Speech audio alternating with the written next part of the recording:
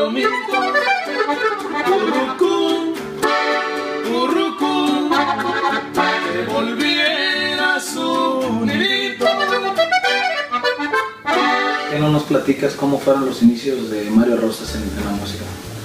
Ah, pues sí, empezamos allá por el 92, 93, este, me acuerdo allá por el pueblo de Pénjamo, Guanajuato, donde soy originario me acuerdo cuando salió la canción de, de los Bravos del Norte de Ramón Ayala, La, Rama del Mezquite, que fue una, una canción que me, me motivó mucho, porque decía yo, híjole, ojalá yo me aprendiera esa canción. Y es un sueño tocar un, un tema tan bonito de Ramón Ayala, una, una introducción tan, tan bonita, tan alegre, tan profunda que hizo el señor Ramón Ayala. Y son nuestras bases, Ramón Ayala, este, Juan Villarreal, eh, Nacho Hernández, también Los Amables del Norte. Y, este, y me acuerdo de, esa canción porque fue una de las primeras que, que me movió el tapete más para meterme más de lleno a la música porque pues yo iba a la primaria, todavía no entraba ni a la secundaria y, este, y ahí empezamos. Y, y en el 95 este, estamos por acá en Los Ángeles ya trabajando desde, pues, desde abajo, ahora sí que en los restaurantes, en,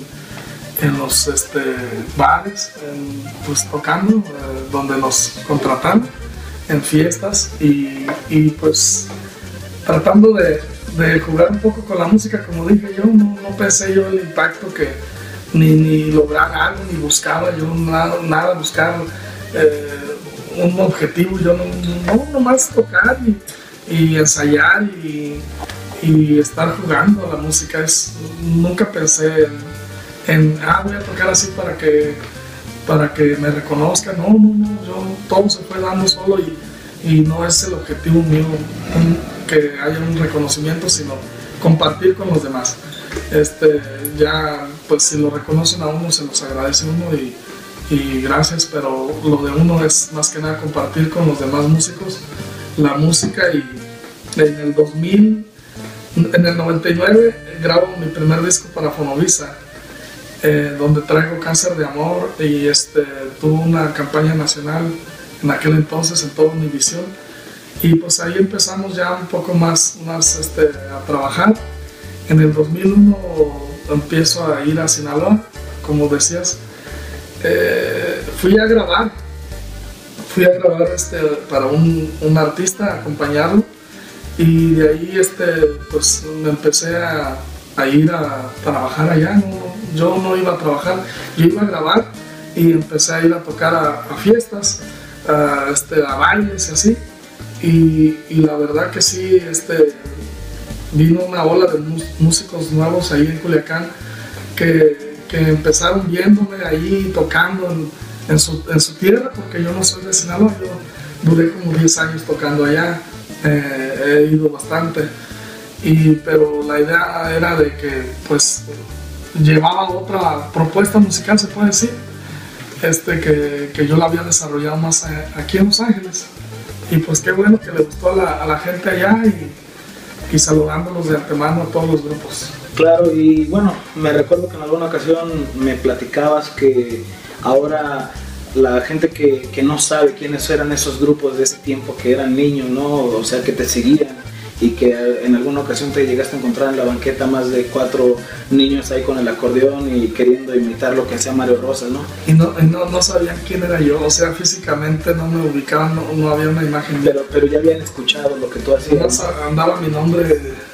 mencionado. Y entonces, este, ahora esos, algunos niños, algunos contemporáneos de tu edad, pero todavía no entraban de lleno al acordeón. Y este, lo que en alguna entrevista que le hice a don Nacho Hernández me comentó ah, palabras muy ciertas, ¿no? En, en tu caso, que desgraciadamente no has encontrado o no ha habido ese respaldo eh, comercial, ¿no? Sí. pero este, afortunadamente hay gente que ha reconocido y que siguen dentro del medio y gente como esa que la que estoy mencionando, tú puedes decir el nombre de alguno de, de esos personajes, de los grupos que ahorita están actualmente sonando en las radios y que son el caso de los amigos que me dijiste. Pues tengo, no, no tengo ningún problema en, en mencionarlos porque son amigos míos, Código FN, los muchachos de Enigma, Enigma Norteño también, el, el grupo Cartel que, que ahora es Sexto Sentido, este, todos ellos son amigos que, que me vieron allá en Sinaloa trabajando, tocando y, y, este, y de algún modo pues sintieron una motivación. Verme como yo la sentí también al ver a Ramón Ayala, como lo he dicho siempre, a Nacho Hernández, a Juan Villarreal en los bailes, que yo iba a, mirarlo nomás para, para este,